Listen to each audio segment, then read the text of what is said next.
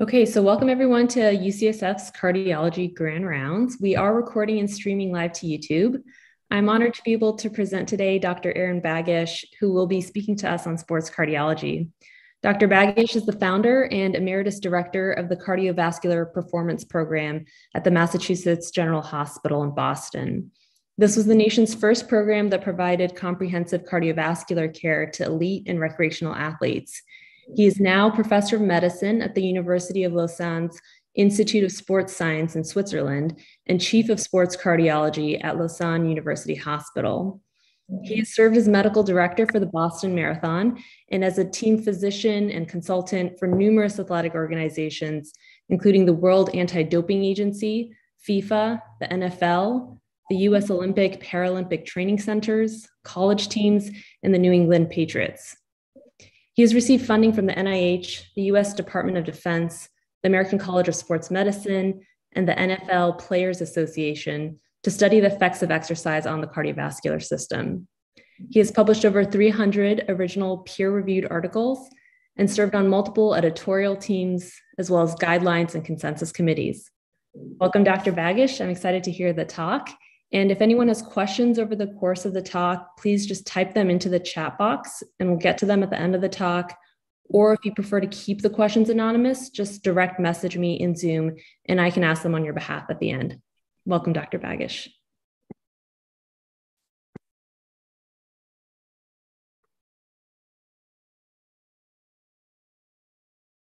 All right. Well, first off, let me just express my appreciation for the invite to be with you. I've been looking forward to this. You may be asking why your speaker today is wearing a white polo shirt, and I can assure you it, is not because I just came off the tennis court. This is actually the hospital issued uniform that we uh, we wear here in Switzerland. Whether it's good or not, from my perspective, the jury's still out. I'll get back to you at a later date, but it is what it is.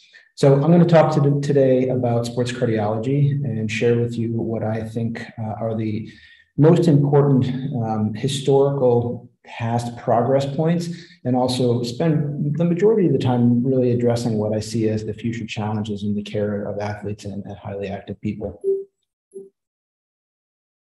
So as mentioned, I have a bunch of affiliations. This is just for full transparency that I have financial connections with, as well as, as uh, funders that have been behind the work, some of which I'll show today and some of which I will not.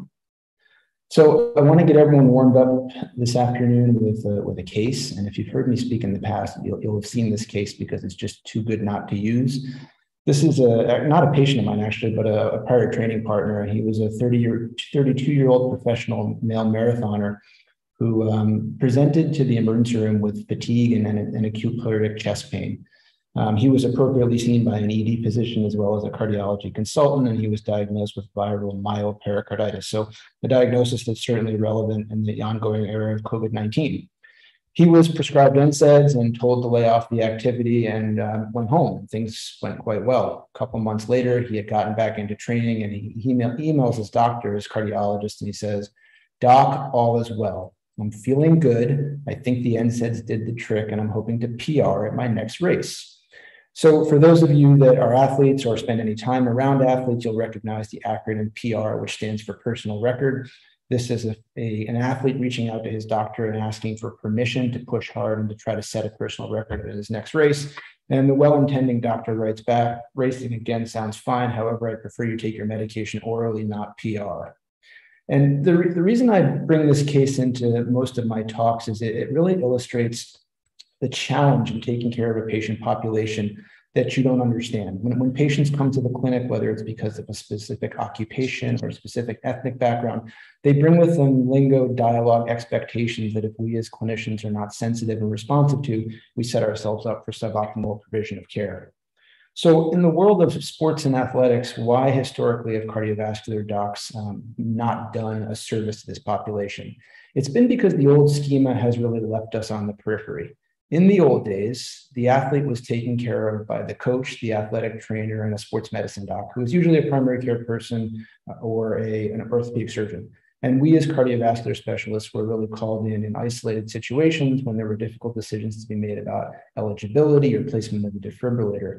And, and while this may have worked okay for some period of time, it was suboptimal and set us up for situations like the one I just shared.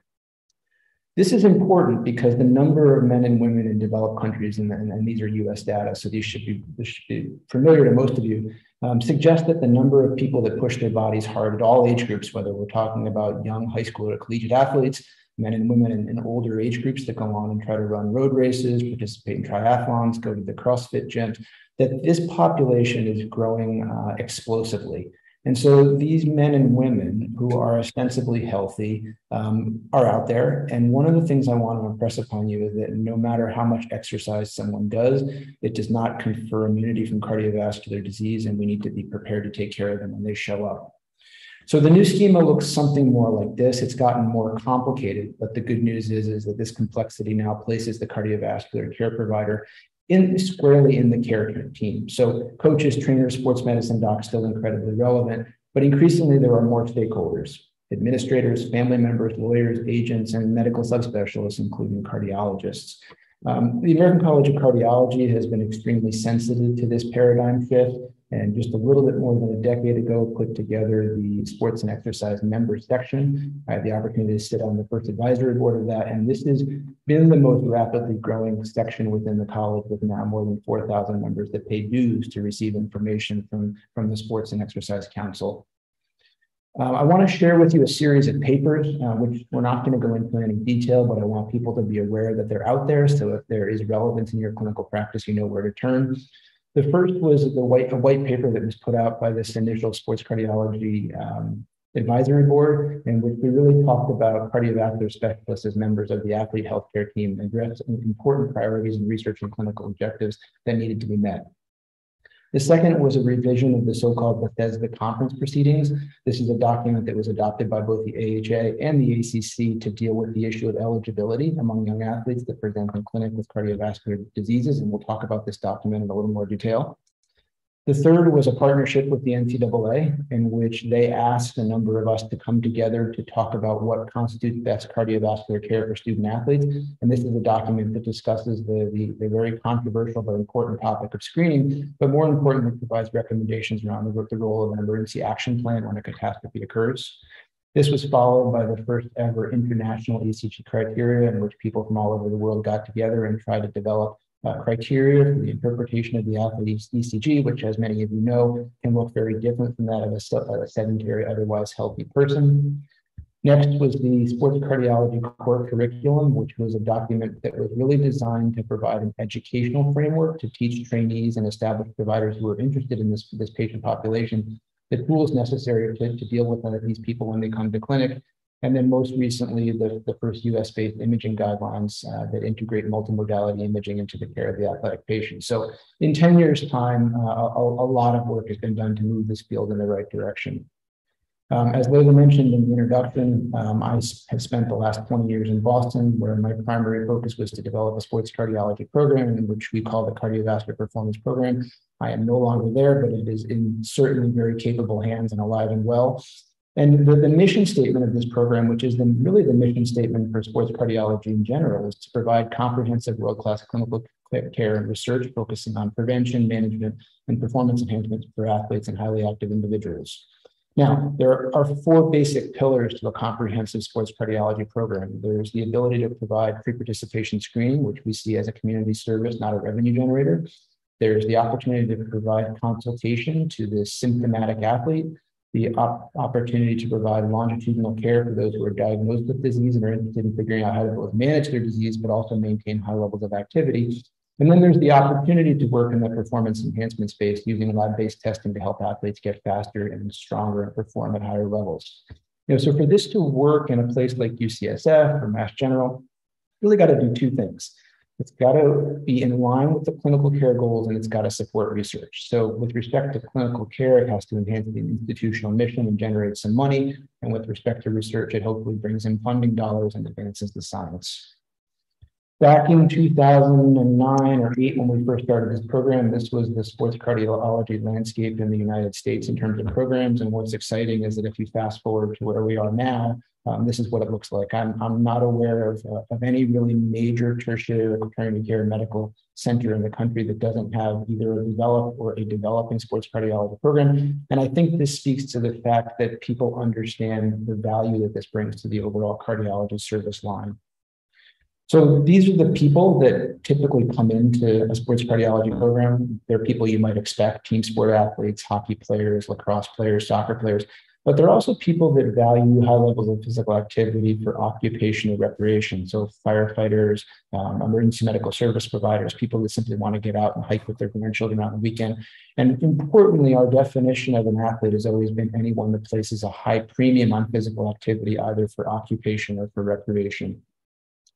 And so in the short few slides I've presented so far, I've talked about progress, but to borrow a line from the famous Vermont poet Robert Frost, I think we have miles to go before we sleep, and there, there's a lot left to do. So what I want to do is talk about two very specific patient populations and talk about several very specific challenges that remain. The first applies to young athletes. And, and, what I want to impress upon everyone is that we really don't yet understand the natural history of many of the key diseases that affect young people. And we really don't understand the risk benefit ratio of superimposing high intensity, high volume exercise on, on top of things like genetic cardiomyopathy or channelopathies. The second relates to older athletes, and this is where we talk about the issue of therapeutic decision making. And what I what I will show you later on in the talk is that although we figured out how to take care of a lot of common diseases in general cardiology, we have very very limited primary data to guide clinical decision making for these diseases in the of population that I'm going to talk about, which are masters athletes. So let's talk a little bit about eligibility, um, where we came from and where we need to go. Um, 40 years ago, roughly 40 years ago, a small group of people got together in what was now known as the 16th Bethesda Conference and generated the first el- ever eligibility recommendation document.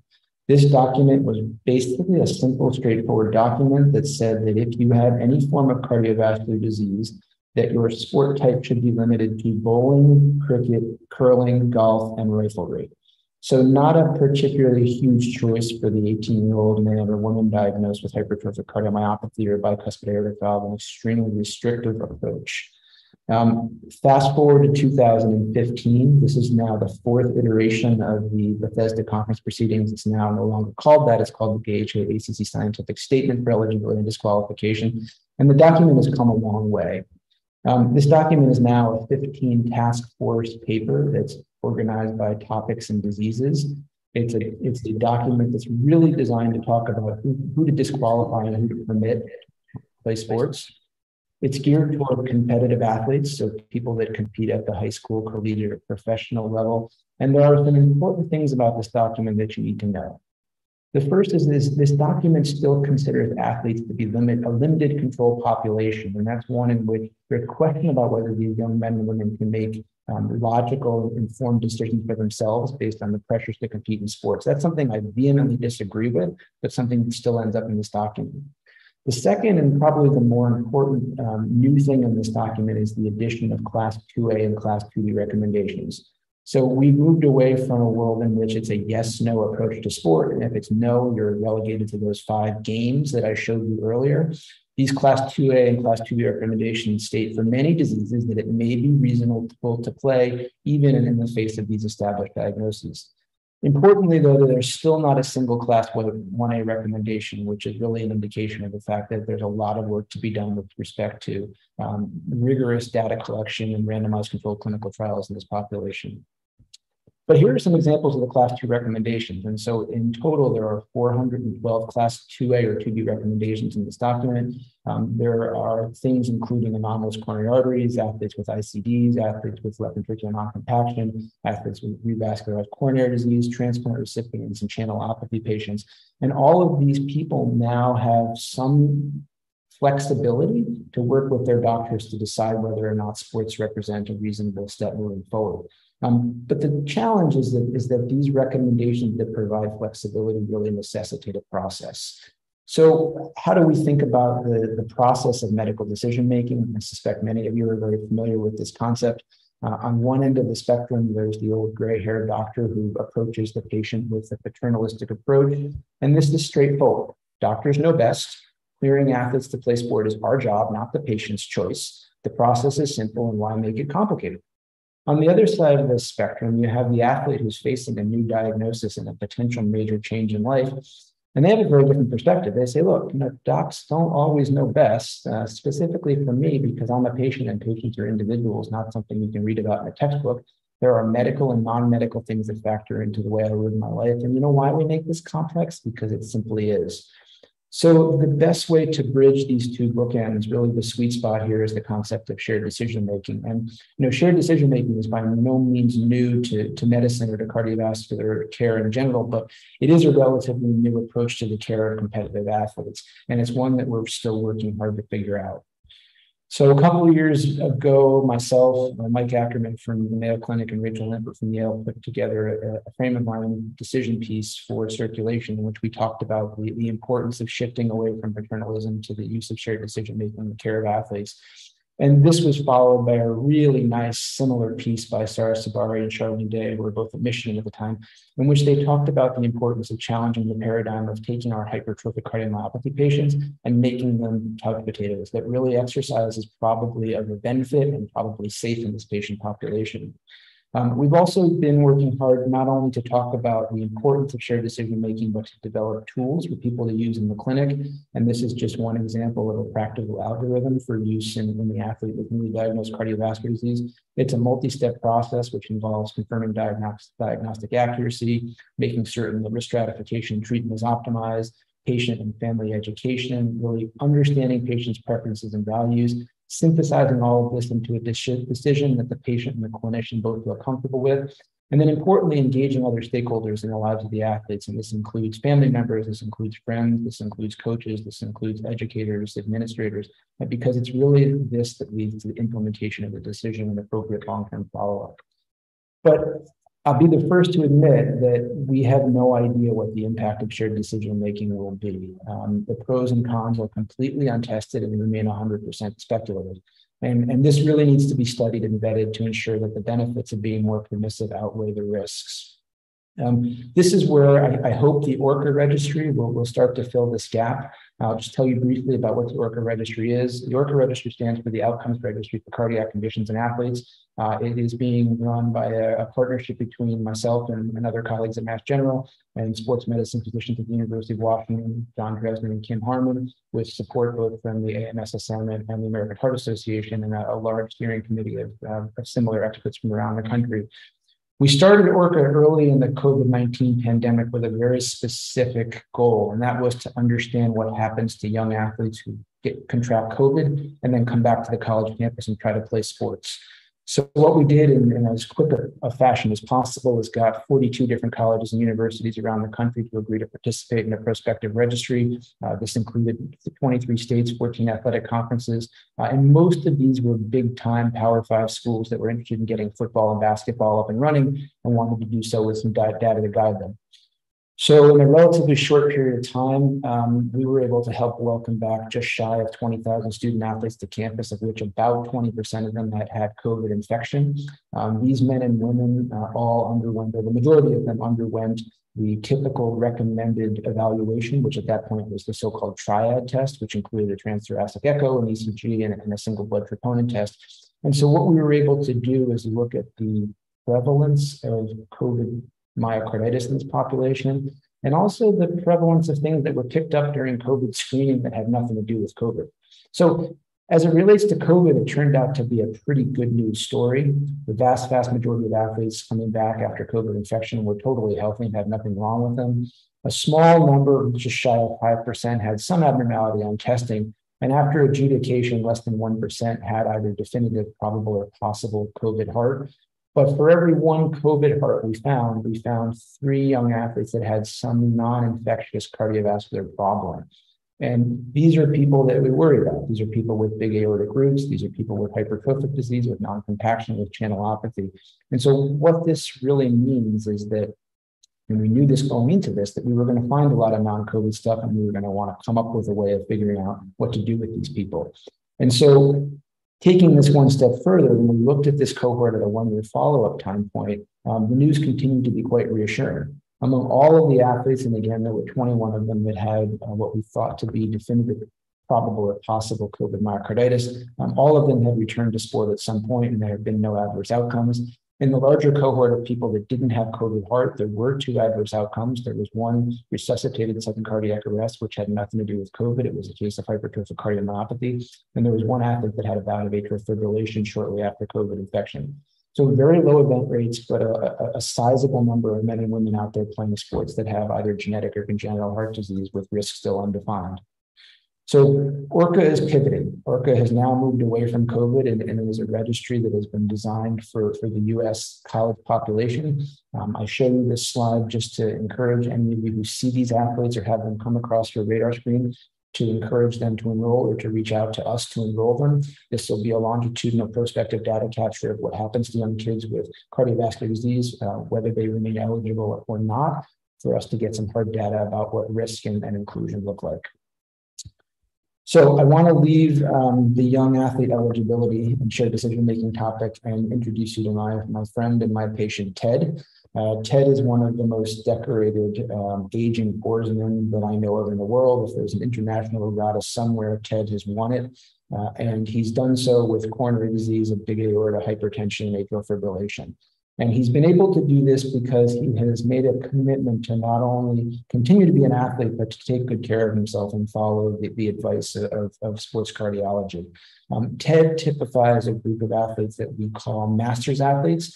By definition, these are men and women above the, the age of 35 who exercise vigorously for at least five hours a week, and, and in doing so, place some emphasis on goals. Now, their goals may be to compete against others or to compete against themselves, but they're out there with some sense of purpose and they push themselves hard. Um, about 10 years ago, there was an editorial published in the Wall Street Journal and it was posted online at 8.02 in the evening. Now, I have no idea what I was doing that night, but I remember the next morning coming into work, I had 465 emails in my in basket asking what to make of this editorial. And the editorial was called One Running Shoe in the Grave. And the editorial basically goes on to say that running can take a toll on the heart that essentially eliminates the benefits of exercise. Running too far, too fast, and for too many years may speed one's progress toward the finish line of life. Now, this was not an original thought for the, the, the journal editorialist. This was a, a, summary of an editorial that was about to come out in the British Journal of Heart. Uh, and this is the editorial Run for Your Life at a comfortable speed and not too far published by Jim O'Keefe and Carl Lavie, two relatively well-known US-based cardiologists that I respect a, a, great deal. And what they did in this editorial is they put forward um, several arguments, including a look at some old epi data, some new studies looking at cardiac damage in athletes, some case studies of athletes dropping dead, and, and, and pointed towards some new studies that were about to be published to make the argument that we can get too much of a good thing. Now, this was a journal commission, internally peer-reviewed article um, that hasn't really stood up to the test of rigorous uh, review uh, now that many of us have read it. Uh, if you're interested in it, Jim does a great TED talk. I have the, the information there for you. It's worth watching. It's very entertaining. But most of the arguments in here are not per, particularly um, strong. But you know, one of the things I've learned in, in this field is that where there's a lot of smoke, there's usually a little bit of fire. So I think as responsible clinicians, it's reasonable for us to ask the question, does too much exercise over too much time hurt your heart? And I would say if it does so, importantly, does it affect morbidity and mortality? And if so, what does this pathology look like? So why talk about this? There's reason to talk about this. There are some epidemiologic data that are now focusing on the high end of fitness, which show diminishing returns in people that push very high. There's lots of anecdotal observations of physically fit people dying during exercise. Perhaps it's due to some form of sport-induced cardiovascular disease. And there's observational data describing pathologic phenotypes among athletes and athletic patients. And, and maybe, just maybe, if you put all these things together, there's a syndrome of abnormalities that's perhaps caused by chronic exposure to high volume, high intensity exercise. So to, to, talk about the exercise health outcomes relationship, I want to just bring us back to early phase of our training where we learned about the dose response relationship. And we know that when we give an organism of any type uh, a stimulus, and the best example would be giving a patient a medication, that the, the response to that stimulus can be defined both by an efficacy curve and a toxicity curve. And when we do something that we hope helps someone, we think we want them to live in that margin of safety where they experience efficacy but avoid toxicity. We also know that when you apply the dose response principle to populations, there are people that, that buck the rules. We have benefit outliers, so people that get lots of benefit despite very low exposure and people that get no benefit despite toxic exposure. And we have toxicity outliers, people that develop toxic responses to stimuli at very low doses, and those that can handle what should be toxic doses with, without any sequela. So, how does dose response and exercise come together? Well, it's unfortunately a little more complicated, and there are different curves that can be applied based on what outcome you're talking about. So, curve A, which is the straight linear curve, that's actually a reasonable approximation of the relationship between exercise dose and athletic performance. Typically, the more you train up to a very, very high level, the better you perform in a race. Curve B, the asymptotic curve, is a, is a nice depiction of the relationship between exercise and modification or attenuation of cardiovascular risk factors. If you go from doing nothing to something, you will improve blood pressure, you will improve plasma lipoproteins, you will reduce inflammation. But at a certain point, you get really no more bang for your buck. And that's probably at about two to three times physical activity uh, recommendations. So maybe 300 to 450 minutes per week. The bimodal distribution curve shown in the bottom right of your screen represents the complex relationship between exercise and weight loss. If you go from doing nothing to something, you will stimulate some weight loss, but it really takes a fair bit of exercise to stimulate meaningful long term weight loss. And again, that's somewhere approximately two times physical activity recommendations. And then, of course, curve C, which is my favorite and the most feared, is the relationship between exercise dose and, and marital success. If you're not home on the weekends because you're out riding your bike the whole time, your spouse is probably not going to like you too much. So, thinking about exercise and longevity, the first question to ask is Do elite level athletes live longer than the rest of us? And the answer is probably yes. Um, many European countries that have socialized medical systems have the ability to capture with precision um, long-term events in, in, in, their population. And this is one example of a study that comes out of such, such a situation. These are data from Finland in which elite level Finnish athletes were followed throughout a lifetime. And these are survival curves. And what you can see here is that there are separation in the survival curves that begin at approximately the fourth or fifth decade of life. It's easier to, to see this story if you look at the numbers. And so what is done here is the, the, the, mean longevity of endurance sport athletes, team sport athletes, and power sport athletes are compared to sedentary reference controls. And you can see that the endurance sport athletes enjoy roughly five to seven years of longer life than reference. Team sport athletes, anywhere from one to five years more of life. And interestingly, power athletes, so people that push high loads, do a lot of weightlifting, appear to have no mortality benefit at all.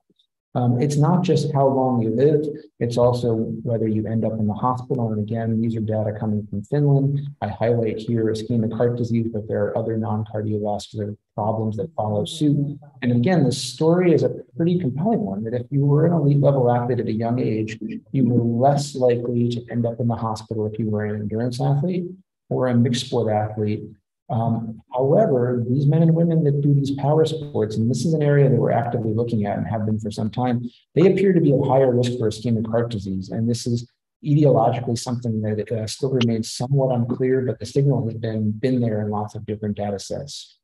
So it was once thought that exercise was so good that maybe it did confer complete immunity from cardiovascular disease, specifically atherosclerosis. This is a very famous paper written by the California pathologist Thomas J. Bassler, in which he looked at autopsy series, an autopsy series of marathon runners who died from traumatic causes and put forth the concept that if you were capable of running 26.2 miles or 42 kilometers, as we define it here in Europe, that your coronaries would be free from atherosclerosis, that there is a certain level of exercise that simply cures you of this disease. And gosh, I wish this were true, but it's simply not the case. You know, we confirmed this in definitive fashion with the RACER study, which is published in the journal now just more than a decade ago.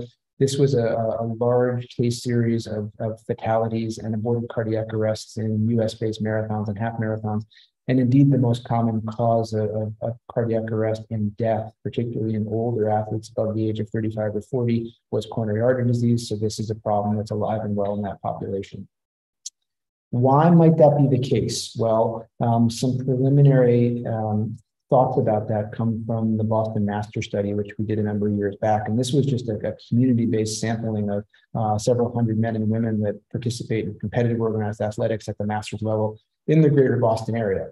And we asked a bunch of different questions. The first was, are these people going to the doctor? And the answer is yes. And the second is, when they go to the doctor, what happens? And the first answer is the doctors do a lot of tests most of them got some form of screening test. They got an ECG, they got a stress test, they got an echo. Recently, they were getting cardiac CT scans. And the doctors that were caring for them were not crazy. They weren't doing this uh, for no reason. They were doing this because they were detecting traditional athlete risk factors. So family history of, of coronary disease, ongoing or prior tobacco use, hypertension, dyslipidemia, and even in some cases obesity. And what was really interesting about this data set is that only approximately 30% of these athletes, and these are the healthiest looking people in our community, were truly risk factor free. About a third of them had one risk factor, about another third had multiple risk factors, and close to 10% of them had established cardiovascular disease, which was almost all attributed to coronary disease or arrhythmia, which was primarily atrial fibrillation. However, the sobering thing that we learned from this study is that 40% of these folks felt dismissed or mistreated when they went to the doctor because of the fact that they identified themselves as an athlete. And what this looks like in clinical practice is the patient walking in and, and telling the doctor that they're concerned because their five mile pace had dropped off, or they're concerned because their marathon time had dropped a few minutes. And the doctor looked at them and looked out in the waiting room and said, You are the least deserving of my time right now.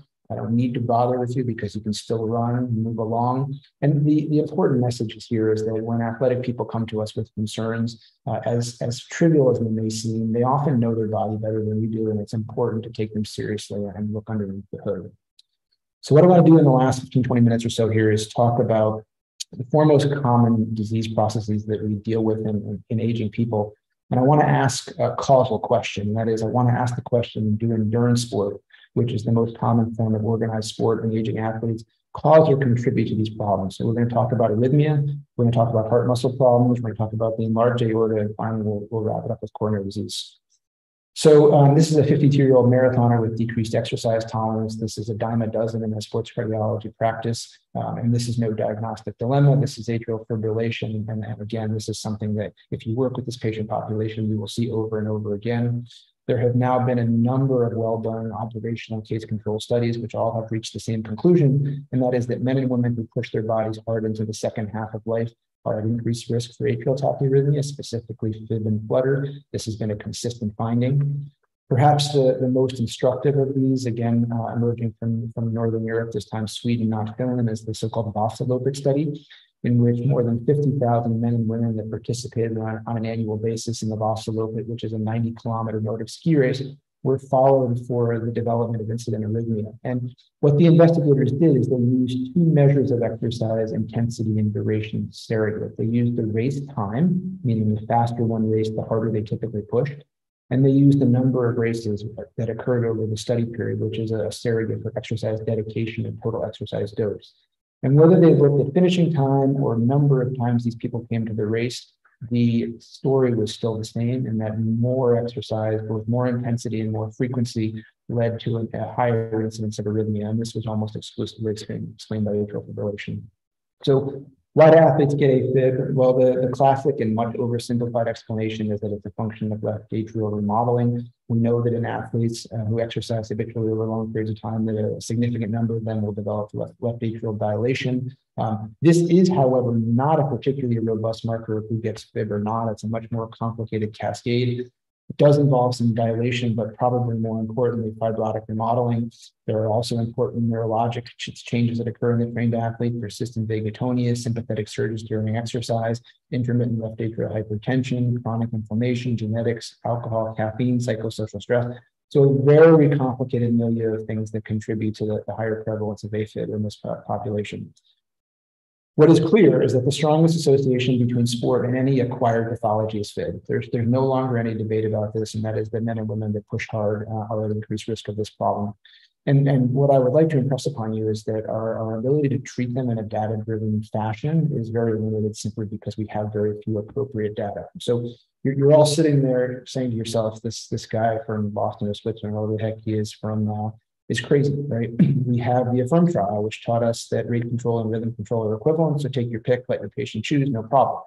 We have great scores to predict bleeding. We have great scores to predict clot. And we now have lots of different ways to treat people. We have medications, we have catheters. So this is not that complicated disease.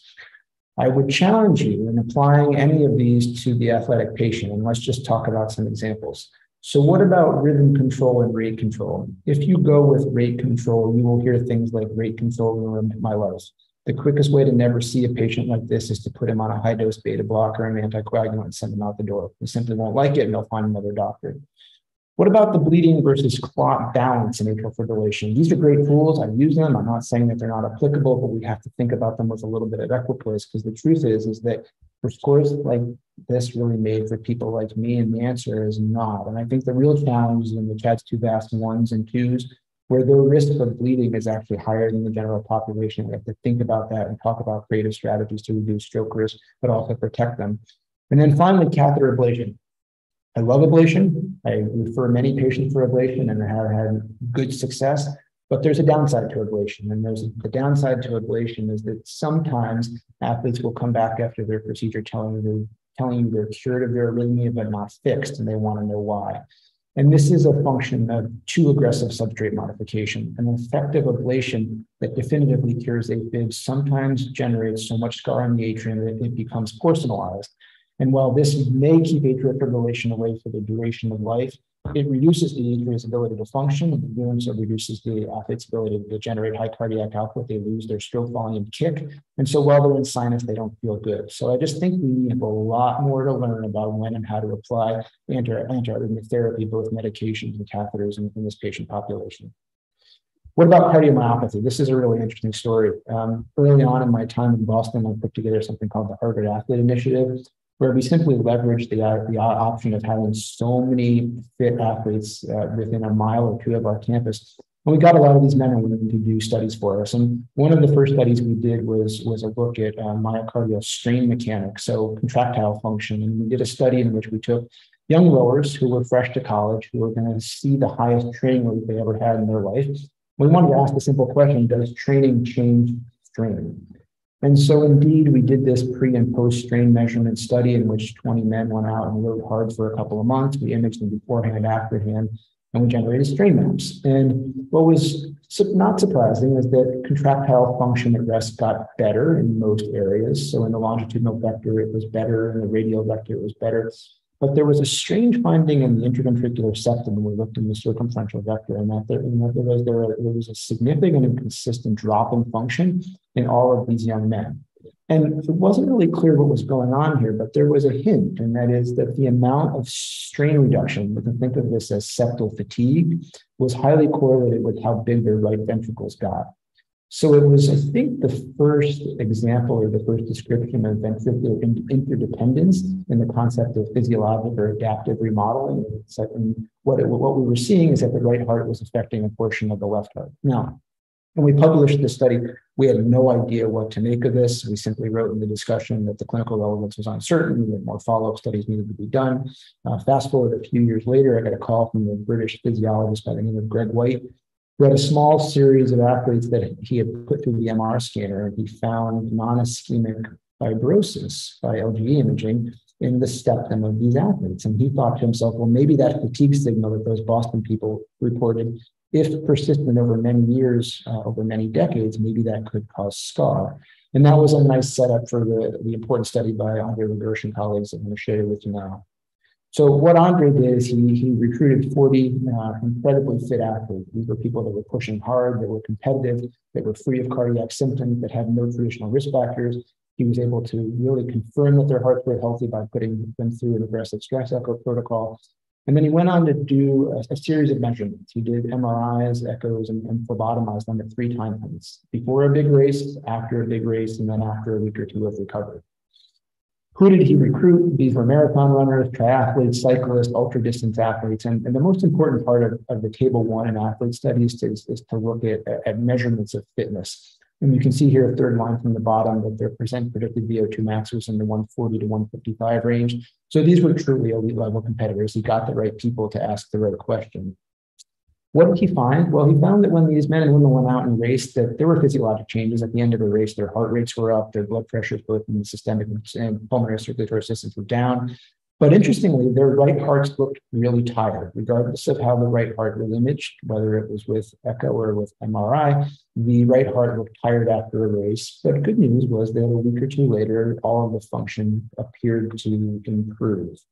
Um, this is the schematic that explains the physiology. Um, as the right ventricle experiences high, high blood flow and feels pulmonary vascular resistance, it tends to fatigue because it's not as adept at handling that as the left ventricle. There's dilation, there's flowing of the interventricular uh, septum at the expense of the left ventricle. And what this does is it translates into a high level of stress across that septum, particularly at the RV insertion hinge points. Um, and somewhat soberingly, when the MRIs were analyzed from these 40 people, five out of the 40 of them had non-ischemic fibrotic patterns in this exact region. Um, some intramyocardial scar, some confined just to the RV insertion hinge points, but these were healthy people at the top of their game. They had hearts that looked like this. So why might this happen? Well, it's more complicated than just doing a lot of exercise, at least in my opinion. It does involve a lot of exercise, so chronic extreme volume and intensity. There's almost definitely some element of training recovery mismatch, meaning not resting and recovering enough. There's probably something at the genetic level that confers host susceptibility, and it's not ARVC genes. Those have been vetted. But probably most importantly, there's got to be a secondary process use of some performance enhancing drugs, some occult infection, or maybe something as simple as unrecognized garden variety cardiovascular disease like hypertension. And if in fact this happens, the perfect storm may exist and, and the heart may look like this. But I just want to leave you with what I think is the, the, the way to think about this with some equipoise, and that is, although there are some data sets that show this patchy fibrosis in elite level athletes, there's never been any good clinical correlate of this. There's never been anything to show definitively that this leads to heart failure or the malignant arrhythmias. So it's a finding at this point that's really of no clear clinical relevance. What about aortopathy? This is a really interesting story. There um, have been some, some large cross-sectional data sets looking at aortic dimensions in young competitive athletes uh, that have reached the conclusion that aortic dilation among people that perform sport um, is very uncommon. So less than 2% of athletes um, who are men will have an aorta above 39. Less than 1% of women above the uh, women will have an aorta above the cut point of 33. And so the thinking has been that, that the aorta is relatively immune to the hemodynamics effects of sports. Um, what the aorta does reflect, as most of you know, is simply body size and, and height being the most important determinant of that. So that's an important factor when we're looking at aortas in young, healthy people. Um, a meta-analysis pushed this um, this concept a little bit and said, you know, maybe clinically relevant aortic dilation is not that common in athletes, but athletes do have larger aortas than sedentary controls, and they do so by several millimeters depending on where you measure it. Um, and what dictates which athletes? Well, it tends to be men more than women, and it tends to be endurance athletes more than strength athletes. So something about the volume loading of the endurance athlete, particularly the male athlete, seems to confer a signal toward aortic dilation. Um, we saw different things in clinic for a long time, and that is we saw a lot of masters athletes that came in that had big aortas and were sent by doctors that were appropriately concerned. And so we set out to do a, a study looking prospectively to, to, measure the prevalence of, of clinically relevant aortic dilation in aging athletes. And so enrolled high-level athletes, rowers that were qualified for the Boston Marathon, uh, sorry, rowers that were qualified for the National Senior Regatta, and runners that were qualified for the Boston Marathon, got a lot of information about them, and went and measured the aorta. And what we found is that um, there was a lot of dilation. So upwards of 25% of men had sinus measurements that were greater than 40. Um, upwards of 20% of men had a, a ascending aortas that were greater than 40, and similar percentages of dilation were, were, uh, were observed in, in, the females, particularly if we use gender-specific cut points. Um, we also, I think, start to see that not all parts of the aorta are created equal. Um, sinus dilation was a function of, of body size, gender, and the type of sport, whereas aortic dilation in the ascending aorta was largely driven by hypertension. So it may very well be that there's there's mixed physiology here. Um, what does it mean? Stay tuned. Um, all of these men and women are, are now engaged in a longitudinal surveillance registry where they're getting serial aortic measurements and they're being followed for, for the for incident acute aortic syndromes and need for aortic surgery. So we'll hopefully be able to show one way or another that this is either adaptive or pathologic. My sense is it's going to be largely a benign phenotype, but the, data are still to come. So finally, my favorite one, and that's coronary artery disease, and this has been a, a topic of, of, quite a bit of debate. So I don't think I need to remind this audience that exercise does good things for traditional risk factors, whether we're talking about hypertension, abdominal adiposity, plasma lipoproteins. Superb exercise intervention studies have shown that when we exercise, we move these things in the right direction.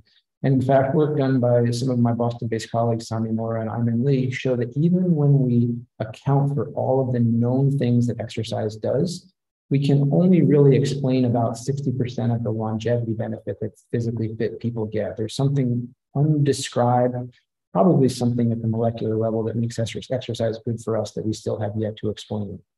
So where does a study like this come from? Running the risk of coronary events. This is a German study that was published in the European Heart Journal about 15 years ago, in which the, the authors put uh, accomplished marathon runners through the CT scanner and measured coronary calcium. And what they were able to show is that marathon runners compared to age match controls, and probably more importantly, compared to age and risk factor match controls, tended to have more coronary calcium than their sedentary counterparts. Um, and that some of these men with high CAC scores went on to have problems. So this was a wake up call, and that is maybe if you run a lot, you injure your coronary artery, and in doing so, put yourself at risk for the for the outcomes that we as cardiologists care about. Uh, a second study, this time based in the US, published in Missouri Medicine, which I must admit I don't read routinely, but this study did catch my attention. This is a study called Increased Coronary Plaque Volume Among Marathon Runners. And, and this group of investigators enrolled a sizable cohort of marathon runners that had participated in the Twin Cities Marathon over 25 consecutive years. There's a lot we don't know about these guys. We know nothing about how, how much they trained, how they did in the race, what their exercise physiology was. But what we do know is that they tended to have more plaque in their coronary arteries, both calcified and non-calcified, than the selected control group. So what do you do with these two studies? Well, you have several interpretation options. Option one is that high levels of exercise cause atherosclerosis. Option two is that traditional risk factors are causal and they're just underappreciated. Or option three, and perhaps the most intriguing, is that coronary disease may be driven by unknown or unmeasured risk factors. And maybe coronary plaque, specifically coronary calcium, is a slightly different beast in people that are fit and otherwise healthy. So let's go back to these two studies and look a little bit deeper under the hood and ask ourselves whether we think running was the cause of these men's coronary atherosclerotic burdens. So the four men in the German study that went on to have problems, and these were important problems. You can see here, if you look at the bottom, that these were accomplished marathon runners. One guy ran 14, 122, 165, and one guy ran 140 marathons.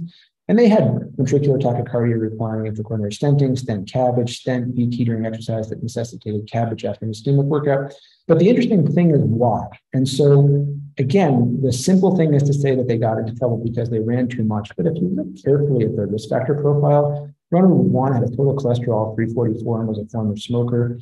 Runner two was a medicated hypertensive. Runners three and four were both former smokers with high blood pressure. They were not on medication. So, again, do you really think that it was the running that caused these men's coronary disease? I would submit it probably wasn't. What about the Missouri medicine study? This is really interesting. I, am not sure how they were able to find 50 guys who ran 25 consecutive marathons, of which more than half were either active or former smokers. But indeed, they were able to do that. And although it wasn't statistically significant, it was more smoking that was in the control group. But the, the important thing about this study is not what they measured, but what they failed to measure. And what they failed to measure is not their fault. They're just hard things to measure that are important when we talk about causality. The first is diet. I would remind you that fit people that burn a lot of calories oftentimes choose poor macronutrients, choose unhealthy foods because they can get away with it. And while they may look fit and have a six pack, they almost certainly have the atherosclerotic sequela of eating a bad diet. There's the concept of the carefree 20s and 30s, in which aging athletes actually lived relatively unhealthy lives until some point in which they woke up and wanted to turn things around. And while this is this is certainly something we should support, when and if they get sick, it's important that our medical history reflects earlier life exposure risk factors. And finally, family genetics. They're never controlled for in this study. And if I have one question I ask my, my athletic patients about um, when I'm trying to, dis- to discern future athero risk, it's what happened to mom and dad. And you know, without controlling for any of these, we really can't say anything about causality. So to bring this all home, I want to take you up to, to, to Mount Washington in New Hampshire. They have a road race there that I uh, really enjoy running every year I can get up there. And I typically will bring our sports cardiology fellows up there, not force them to run, but simply encourage them to listen and, and, and learn about the distance running community. And one time I was up there, there was a conversation that uh, a fellow and I overheard standing in line for the porta potty, getting ready for the race. I wish I had the ability to record it, but I couldn't. But this is what the conversation started with. The first guy, four men standing in line. The first guy says, Man, not so sure that second plate of chili nachos in the extra couple of years last night were such a good idea. Oh, well, they always say don't change your routine prior to races. This is an issue of poor dietary choices. Runner two, just wish my old man could see me now. He died at age 45 from a massive heart attack. Glad I got my wake up call. Bad stuff runs in my family. Now, we want to support this athlete because he's understanding genetic risk. But when he ends up on your cat table with a fresh LAD, take the time to ask him about his family history before you tell him that it was the running that got him into trouble. What about this one? Well, regardless of what happens, I've got to be better off than I was 20 years ago when I was smoking a pack a day and got short of breath just driving up this damn hill. Again, this is an individual trying to turn around risk factor profile and doing good things later in life. But if and when this person gets sick, let's not blame it on the exercise, but let's think about the risk factors that may have contributed prior to this life change. And then finally, the best one, particularly now that we know what we know about COVID, cough, cough, cough, sputter. If this race was only once a year, I'd be home in bed. I feel like shit. But well, this little climb will help me clear out the junk. So this is perhaps the most concerning because, as most of you know, when, we are infected by virus, uh, even if we only feel it in our nose and our oropharynx, there's low-grade inflammation all through the vascular tree, and, and running and pushing hard or pushing hard in any form of physical exertion during a virus is a perfect setup for plaque rupture. So we just got to again remember that running when we're sick is not a particularly good idea. So is running really the causal issue? I would submit no. I would submit it's the risk factors that runners and other aging athletes bring to the sport that causes them to develop and, and suffer from coronary sequelae, not the exercise itself. So to finish this up and, and, wrap all these concepts together, let's go back to the dose response curve and let's make sense of this. Uh, I think without a shed of doubt that the vast majority of recreational and competitive athletes will live in this margin of safety and will enjoy a lot of the benefit of exercise without having any toxicity. Coronary disease lives in this population, and my synthesis of the literature and my clinical experience is not that it's caused by sport, but that it's precipitated by traditional risk factors that we all appreciate and can do something about if we're on top of them. Atrial fibrillation, in, in, contrast, is the best example of overuse pathology. This is clearly related to the level of exercise in the second half of life. And as I tried to impress upon you earlier, that the real future goal is to come up with data-driven treatment paradigms in this population and not rely solely on what we do in the general, more sedentary folks. Um, aortic dilation is a stay tuned um, story. We know it's more common in people that are fit, really age, and do endurance sports. Um, the degree to which it confers susceptibility to acute aortic syndromes has yet to be determined and hopefully will be answered in, in the relatively near future. And then finally, toxic exposure cardiomyopathy or this fibrosis. Uh, I would pay little attention to this at this point. I think one study has suggested that it might happen. Several studies have tried and have failed to reproduce it. It's not something that we see coming with a lot of clinical sequelae in day-to-day practice. So finally, um, thinking more broadly about exercise uh, as it relates to the care of patients, not just athletic patients, um, I think we should all be moving in a direction in which we talk to every single patient we encounter at every single visit about physical activity. If you don't assess physical activity, you don't understand it, and you miss opportunities to intervene. And when you ask patients about how much physical activity they do, you can conveniently put them into one of three groups. The red group, which are patients that fail to meet physical activity guidelines, which I'll remind you are 150 minutes of moderate intensity activity or 75 minutes of vigorous physical activity a week. And there's opportunity to intervene and change and make them healthy. In the rare people that do just the right thing, positive reinforcement and encouraging them to stick with it over the years you care for them can go a long way. And then, of course, we've been spending the most of the last hour talking about these people in the yellow group who decide and choose to exercise at very high levels, in which there's a lot of opportunity to discuss um, steps and, and, tricks to keep them safe, safe and healthy, and to keep them going even after they develop heart disease. So, with that, I'll conclude and thank you greatly for your attention. And again, I really appreciate appreciate the invitation to be with you. Thanks so much, Dr. Baggish. That was a great talk. Uh, if anyone in the audience has a question, please leave it in the chat or feel free to raise your hand. It looks like we have a question from Dr. Evelyn Stock. Dr. Stock, did you want to unmute yourself and ask the question? Otherwise, I can go ahead and ask on your behalf. Uh, sure, Layla. Thank you. Um, hi, Aaron. Uh, thank you for such a great um, talk about this very important topic.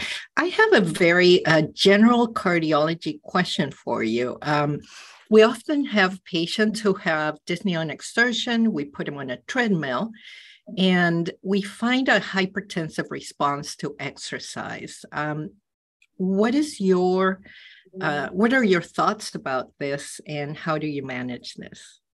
Well, first, hi, Evelyn. It's nice to see you. I would say, for the most part, an overwhelming majority of patients that have a hypertensive response to exercise actually have undiagnosed resting hypertension, and we just need to go looking for it. I have a very, very low threshold to ask people who have a blood pressure response on the treadmill to do surveillance. And I would say 19 times out of 20, they come back with readings which reflect true hypertension, and, and, then they need to be treated either with lifestyle modification first and foremost, but oftentimes with medication because it's the real deal. And the treadmill oftentimes helps us find it. Great. So um, you don't do anything other than treat the hypertension. Well, always start with the, the simple lifestyle things first, right? If you can get alcohol and caffeine intake down, mm-hmm. if you can get salt out of their diet, that can actually make a big difference. Um, but many athletes have genetically predetermined hypertension, just like non-athletes, and their pharmacotherapy with with a vasodilator, an ACE inhibitor, or a calcium channel blocker can be very effective. Thank you. And then there's another question from Dr. Nora Goldschlager. Dr. Goldschlager, did you want to unmute yourself to ask? I just wanted to know, Aaron, if um, there's information on actual COD in those who have cardiac arrest or other deaths. How much of this is arrhythmic? Do we know anything?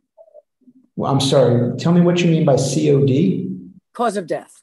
Oh, cause of death. Okay. Yeah. So um, this is interesting. I'm really glad you brought that up. So the, the the old school thinking about cardiac arrest etiology, particularly in young healthy people, is that it was all attributable to hypertrophic cardiomyopathy. That data was, was faulty. It was based on very biased uh, selection bias registry data. Contemporary autopsy series show that about a third of young people that die during exercise have nothing discernibly structurally wrong with their heart, and even nothing with a good genetic autopsy to, uh, to explain their cause of death. Certainly, congenital and genetic structural problems are big players, um, but there's an increasing recognition of the fact that sudden unexplained death with the acronym SUD is more common than they previously recognized, which is a sobering thing for those of us that work in this field.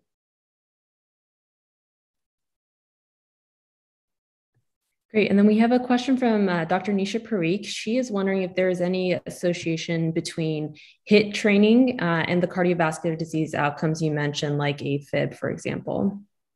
Yeah, it's a great question. So HIIT or high intensity interval training is the is the buzzword both in the exercise circles as well as in cardiac rehab. Um, I think it's a, it's a question that still remains somewhat unanswered. Most of the HIIT data would suggest that it's probably just as safe as steady state moderate intensity activity, even among patients with high risk coronary anatomy and patients with ventricular arrhythmias. Um, the degree to which it actually improves outcomes above and beyond traditional rehab approaches, I think it is still an unanswered question. But I think I, I know a number of groups are working on this, so I think we're probably two to three years out from some good data in that space. I had a quick question, Dr. Baggish, as well. I was just wondering if you could tell us a little bit about how your counseling returned to play after COVID. It looked like in the ACC guidelines you had mentioned that for post myocarditis, um, it, it, there's actually com- sort of the intense series of tests that um, competitive athletes are supposed to do. Like they're supposed to get an echo, a Holter monitor, an exercise EKG test six months after their illness. And so I was wondering if for competitive athletes who get COVID, you're recommending the same thing or how you counsel them. Yeah, I wish I had another hour to answer that question. So we've learned so much about COVID uh, and moved from a state of complete alarm and fear of COVID myocarditis to one in which we, we now recognize that it's much, much less common than we're led to believe. So in the evaluation of the athlete after COVID infection, it boils down to a discussion about the nature of infection. And people that just had generalized systemic illness uh, are typically okay to get back into sports once they feel better without any testing. For athletes that had um, moderate to severe disease or those that had any true cardiopulmonary symptoms during, um, the recommendation is still to perform a triad test, which would include an echo, an ECG, and a spot troponin test. Although I'll tell you, our, our data on troponin would suggest that it's a pretty useless addition. So you can get by with just an ECG and an echo in patients that have at least intermediate pretest probability of cardiac involvement. Thank you. That makes sense. Any other questions that we have from the audience? Feel free to just unmute yourself and ask as well if you have a question. Mm-hmm. I have another question about um, a specific patient on how you go about distinguishing um, athletic heart from um, cardiomyopathy. I have a 40 year old, a very avid athlete um, who has a family history. His father had died of um, heart failure dilated cardiomyopathy. Um, I just saw him a few weeks ago, and he has biatrial enlargement and gets paroxysmal AFib. And his BNP is elevated to about twice the upper limit of normal. So I'm wondering how you would work that up and it seems more cardiomyopathy than exercise induced, but just wanted your thoughts. Yeah, Evelyn, it's another really good question. It's one without a perfect answer. The concept of evaluating the patient with, with gray zone um, structural abnormalities, and there are, are, four principal ones thick walls, dilated LV chamber, dilated RV chamber, and, and trabeculated apices. Um, is tricky business. Um, in the most recent imaging guidelines, we put forth um, a suggested approach, which integrates a whole bunch of things clinical and family history, as you alluded to, findings on imaging, findings on ambulatory rhythm monitoring. And so I think what you do is you stack up all of the things you have and you make a tough decision one way or another, transparently admitting to the patient that you can't be sure. Um, and then you stick with that. And importantly, you follow the patient closely over time and help them make whatever decisions you think are best for them and they think are best for themselves about what to do with that information but it remains the million dollar sports cardiology question. When someone comes up with a gold standard diagnostic discriminating tests for adaptive versus pathologic hypertrophy, we will all be in a much easier world.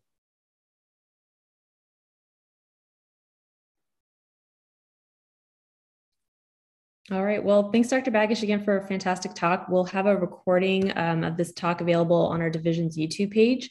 And for the audience next week, we're not going to be having grand rounds because of faculty retreat. So we're going to be resuming the following Wednesday on October 26th. Thanks, everyone. Have a great rest of your day. And thank you, Dr. Baggish, again.